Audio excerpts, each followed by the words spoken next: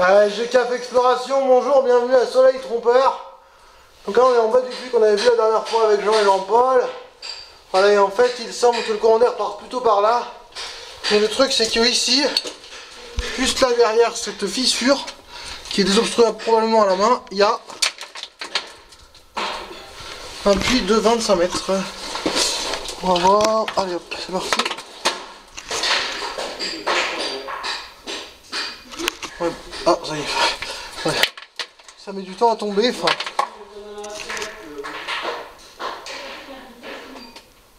Ouais, voilà. Allez, bonne journée. Salut.